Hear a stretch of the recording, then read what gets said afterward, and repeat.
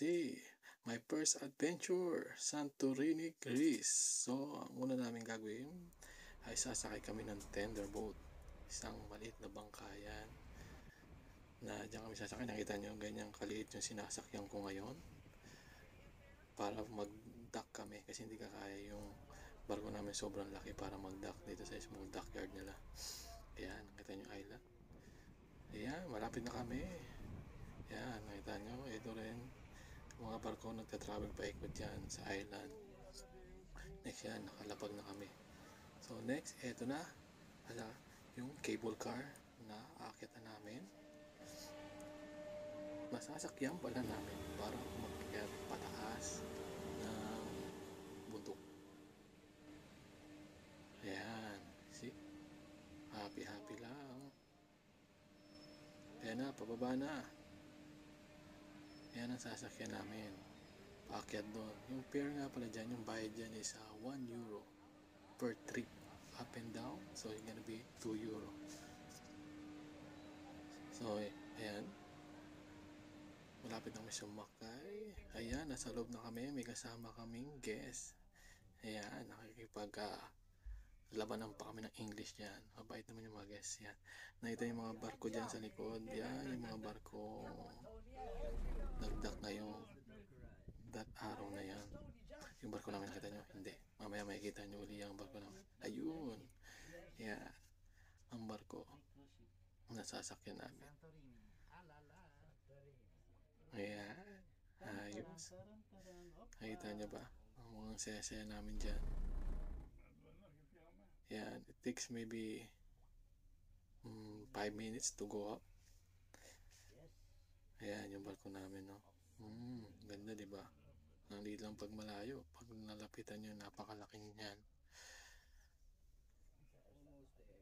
Hmm. Second time ko na nga pala makarating ng Greece. Ayan, no? Malapit na kami bumaba niyan. Nakita nyo yan. Ang ganda. Ayan na. Pababa na. Ayan. Nakababa na kami. Picture-picture muna.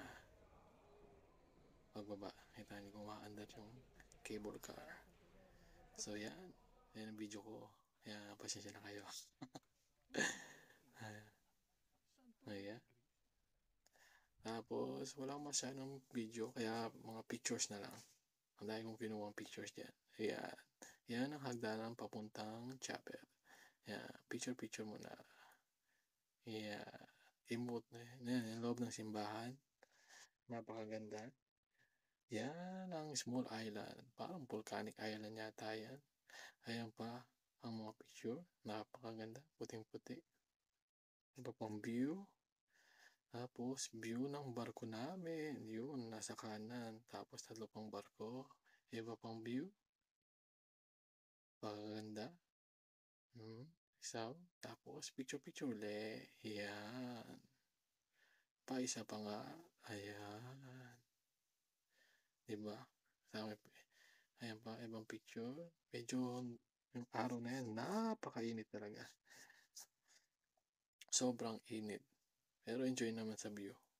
Halos wala ang hangin talagang, ayan, selfie pa uli. Hindi pala selfie, picture uli. Ayan, ang pang simbahan. Another picture, another view. Tapos, selfie-selfie. Pag may time, may tagyawat pa.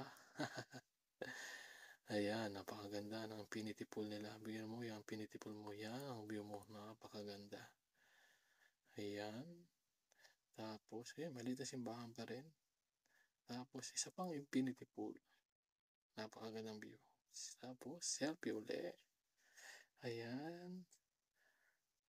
Then, uh, other side of the Santorini. And mga bahay nila, blue, kadalasan blue and white. Ayan, small restaurant. Tapos, another chapel, medyo malaki-laki. Tapos, selfie na naman uli. Ayan, pawisan pa. Tapos, sa pang picture na naman dyan. Kita-kita yung barko sa background namin. Tapos, ayan, another picture na naman. Oh, ganda. Oh. Kitang-kita yung barko. Selfie na naman. Wow. Yan nga pala yan, ang picture niya. So, kaya kami nakapunta dito dahil part kami ng barko. Kuro na yan.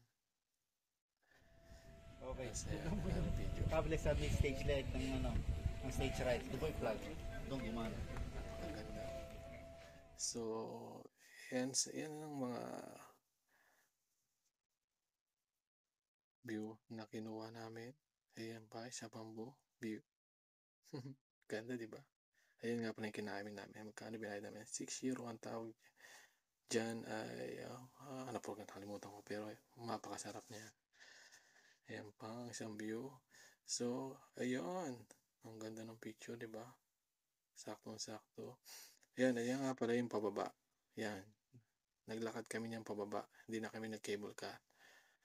So, y- yan. Pwede kang sumakay ng pony o bisiro. O just maglakad ka pababa.